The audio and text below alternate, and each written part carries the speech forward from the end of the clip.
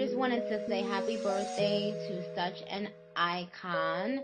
You are great. You deserve everything good under the sun. And may God bless you with many, many more. Kiss the boys for me.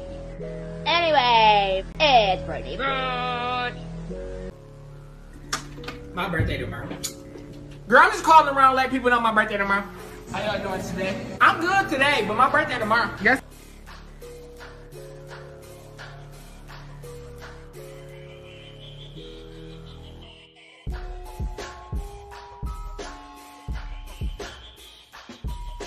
Alright, y'all, so this is the part where I'm looking a hot mess, so don't mind me. But this was me coming from my nail appointment. I was getting the elevator or whatever like that. And I just got my nails done, and I believe this was December 27th. Um, and yeah, so after this clip right here, I'm going to insert what my nails looked at like and give my opinion on my whole experience with that nail tech. And that, yeah, that was me trying to clearly cut my nails because it was my first time having long nails. So I was overdoing it.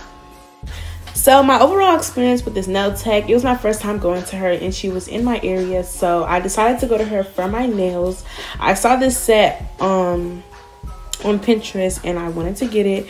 Um everything was good, everything was nice. She was super cool and all of that jazz. But the only um thing I would say is for the glitter that's on my nail, the dark pink glitter that was on my nail, I wish she encapsulated my nail. Um because like the glitter is like fading away right now. And you could tell like it's like it's missing like the glitter. Like after literally two days it started looking bad because um the glitter on my nail wasn't encapsulated. So i wish she had encapsulated my nail with some acrylic gel or something like that.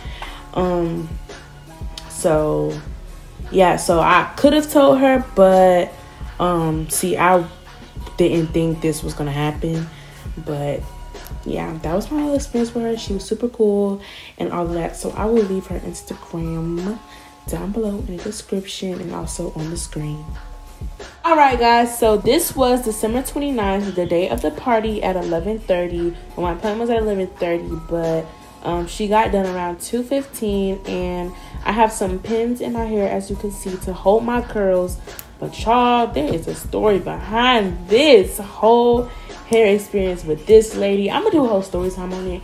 Um, all I'm gonna say is never cheat on your hairstylist.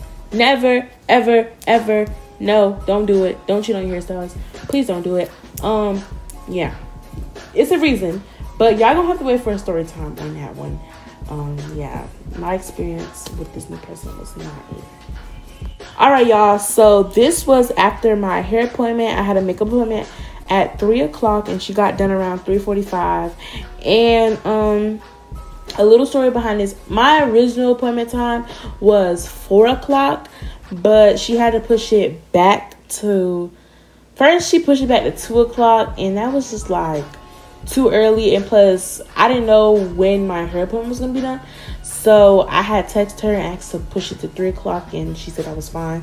So um, good thing she didn't cancel on me, and she did send me that um, reschedule um, two days before.